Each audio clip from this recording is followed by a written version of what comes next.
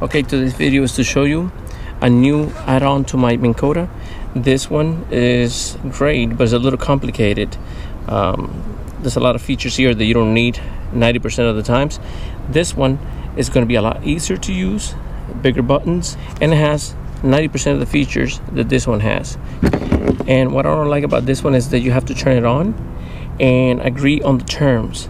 And on this one, you can just press the button right away and it works. This one has a delay of uh, maybe 10 seconds while you press and agree on the terms, which I don't like that feature. So we're gonna try this one. So I think this is gonna be a better remote for the Minn since I'm going to attach it on the dash. And this one I can have it a spare. But this one's gonna be the main one that I'm gonna be using. And look at the size difference. This one is about 50% smaller than this one here. A lot lighter too. Let me show you where I'm gonna install it at. Alright, so this is where I would like to attach it. That way I have my left arm control this and my right arm I can control the steering and the engine. So if I want to use it as a bow thruster, there's no way I'll be able to use one hand with this. I have to use both hands. So by attaching this remote here, I just push a button here and have my right hand free to be using the steering wheel and also use my throttle. So that's gonna work awesome to use my Minn Kota as a bow thruster. Look how tiny it is. All right, let's see what kind of battery it has inside. CR2450, very thick battery, so I think it's gonna last a long time. And if you look at it, it has a gasket there, so it looks like this is definitely waterproof. Very expensive, this remote. This one was a $100 so they're very expensive and this is like $160 but look at the size.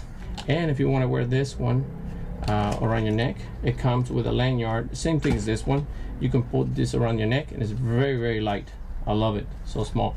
Now to attach this to the dash is going to be quite difficult because as you see it's not even surface. So I'm gonna have to do some modifications so I'll be able to install it on the dash because I'm going to use 3M two-way tape to attach this to the dash because I'm not going to be drilling no holes on the dash. So this is going to be quite difficult, like I said, because of the back has this lump here. So I really need to engineer something here to make it uh, stick there with no problems. Okay, first of all, I'm going to get a napkin and some alcohol and spread it around the remote. So that way the 3M two-way tape will get good grip on the unit here. And also I'm going to do here where the dash is so we can get a good bonding here.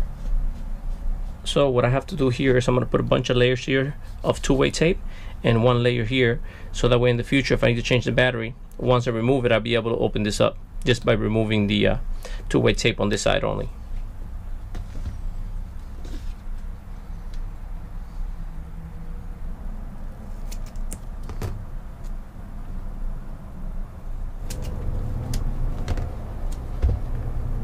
Now I'm just going to place one long layer from here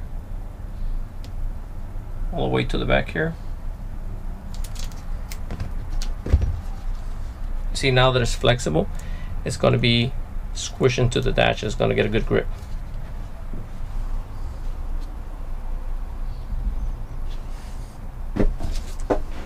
See it looks awesome and it's very strong. I didn't have to open any holes.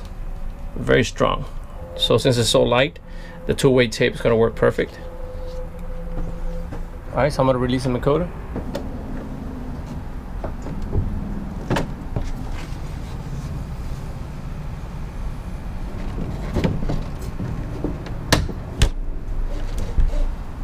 So I believe now I have to pair it. All right, since the instruction says that you have to take the remote over there and press the pair button, I got my assistant here. She's gonna press the button and keep it pressed and I have to toggle these two switches here, the rabbit and the north. Okay, you ready? Go ahead, keep it pressed. Press it again and keep it pressed.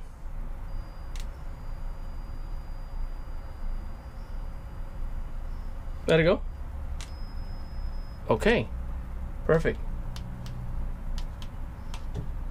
Is it moving?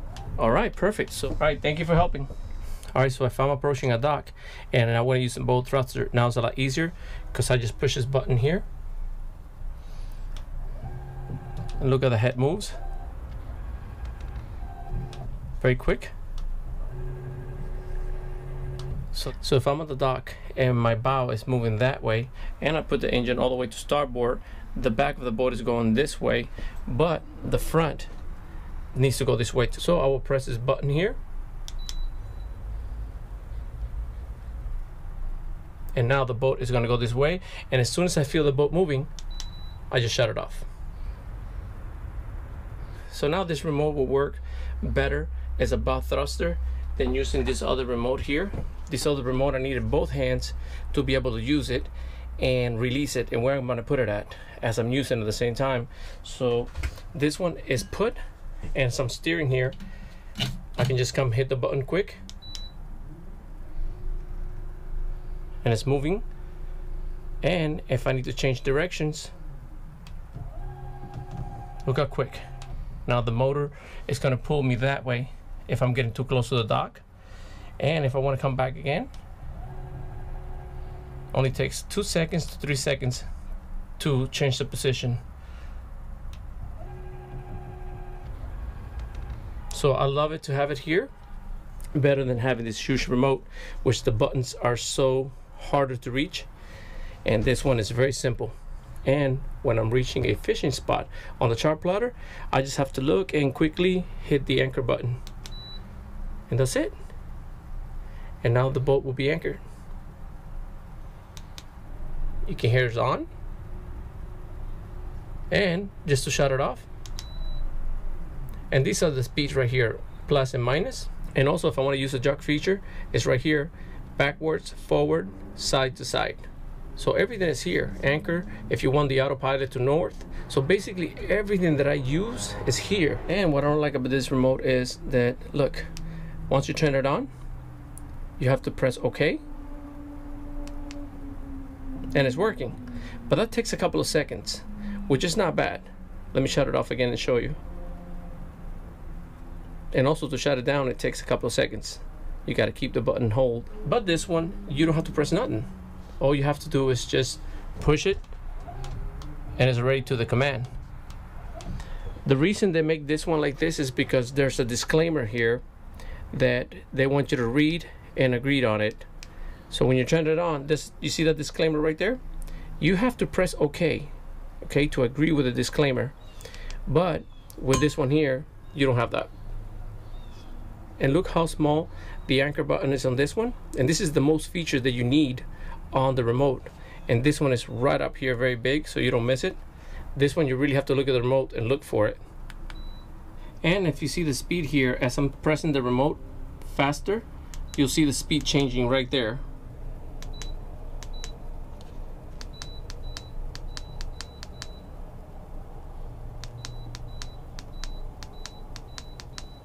so it communicates with this one also any command that you push on this one this one is also going to see it and it's going to be sent to the head. That is awesome because you can have five of these units all paired up to the engine if you have different uh, fishermen inside the boat. This boat did not come with the option of a bow thruster because it doesn't have any room to install one down here. So now my Minn Kota is going to be my bow thruster. It's going to have multi-use. Um, I'm going to learn to use it as a bow thruster when I get to the docks. And in a future video, I'm going to show you how I'm going to use it as a bow thruster. And I will place the link in the description below if you want to check out this remote. It's good because it's small you can wear it on your neck. It's not as heavy you can put it in your pocket. It's a lot easier to maneuver and 90% of the features are inside that remote instead of that big clumsy big remote.